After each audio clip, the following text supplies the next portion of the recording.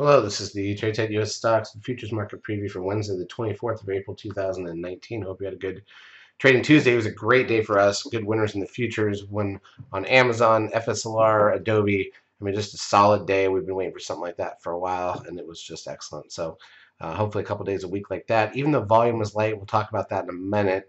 Here's a look at the ES front month futures contract. This is the daily chart of the broad market and futures form as it approaches new highs.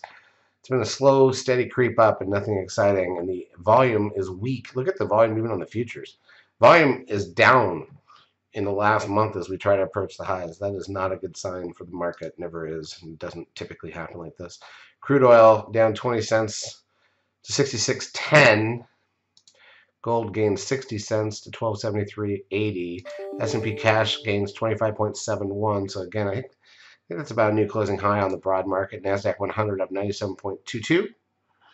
So again, reclaiming the highs up 2,000 points almost, or up uh, 1,800 points since the Christmas week low. The SOX up 15.76. Biotech's up 71.62.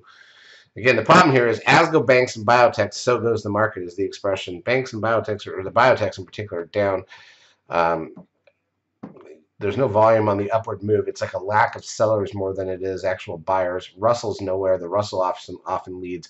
The Russell, if it were to break 1600 or so, that would actually be really interesting on the Russell index. But uh, other than that, it's been very flat. VIX, and again, this is usually the Russell runs leading into tax day, not after. A lot of people invest in the uh, small cap stocks early in the year before the with the IRA money. Uh, the VIX down 14 cents. TRIN closes at 1.08. That puts the 10-day moving average at 1.16. That doesn't tell us anything. NASDAQ volume shows us at 2 billion shares. It was 1.9 at the close, so not very good. Advance decline ratio on the NASDAQ was plus 13.08. On the New York, plus 14.57. Google gains $16.83.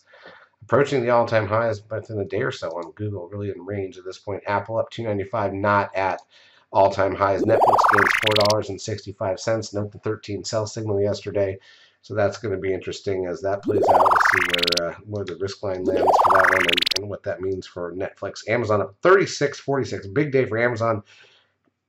We had a nice winner on Amazon today. Good, good winner. Can't can't complain about that. Tesla up a buck 15. Facebook gains two dollars and thirty-four cents. Goldman Sachs down 46 cents. This is what's still interesting. Look at the banks are also basically going nowhere. The banks and biotechs are not moving, but the market's up, but on no volume. It's not a great combination. Just be aware of that. TLT, the 20-year bond ETF, up 26 cents. The Dow was up 145. The Dow has been sitting in this range for a while here. That is an inverse head and shoulders formation on the Dow, by the way, but we'll see what that comes down to. Uh, in terms of intraday action, here's the five-minute candle. So we gapped up small Never filled it. Small gap. Never filled it on the ES. Like literally two or three points. And then just ran for the first all the way into lunch. And then look at that. The minute lunch hit, they all walked away. Oh, good money made. Let's go away. Never came back. The rest of the day was just dead flat. But it helped all of our calls. NASDAQ side, pretty much the same deal. That's it. Um, on the Russell, yeah. All right uh, in terms of economic data coming out on Wednesday, the only thing is crude oil inventories now are into the market. So there's not much there.